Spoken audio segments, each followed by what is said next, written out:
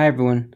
This video is going to go over an outline for your final paper and just give an example of what the expectation is. So this example is an argument that abortion is not wrong. This is an example of a final paper outline. So the thesis just states the position. In this case, they're arguing for a position. The position is that abortion is not wrong. Now, this is just the bare bones here. So you're going to have an argument for, you're going to have the counter argument, your opponent's argument, and then you hopefully have a little rebuttal to that argument. So let's just look at this first part right now. The argument for, you have to argue each of these premises in your paper. So if your argument is a fetus does not have personhood and it's not wrong to kill something that doesn't have personhood, therefore abortion is wrong, right? This argument in general you have to argue each of these points. You have to argue why you believe that a fetus does not have personhood and why you believe that it's wrong, or rather, it's not wrong, to kill something that does not have personhood. So that's the argument for, right? It's something that you'd have to construct and you'd have to argue each premise. Okay, the counter argument. So you make sure that you give your opponent a strong argument because the whole point is to prove your point which means that you have to have a strong argument for your opponent so you can then dismantle it and prove that you're correct. So let's say the counter argument is it's wrong to kill an innocent human being.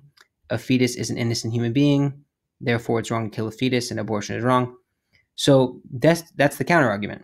And maybe you can, if you would like, explain the rationale behind the opponent. Maybe the opponent thinks this because their beliefs or they have scientific research. They, you know, the heartbeat starts at a certain week. They can use evidence and they can use reason to get these conclusions and to get these points, rather. So, what you have to do is you have to overcome their counter argument by poking at one of these premises. So, I just picked the most common, and I said that premise two, the whole uh, premise here being a fetus is an innocent human being, that can be argued. I think a lot of people would argue that it's not the case that a fetus is an innocent human being. Some people define life as the heartbeat, some people define it as brain activity. That's part of the argument. You have to draw the line in the sand and then explain why you drew it there instead of somewhere else. That's kind of that's kind of your job in writing the paper.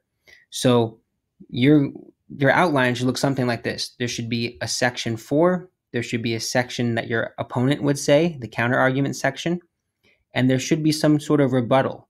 And it shouldn't be just a tiny paragraph. It should be it should be thoughtful about what you think the opponent is saying and how your position overcomes your opponent's position.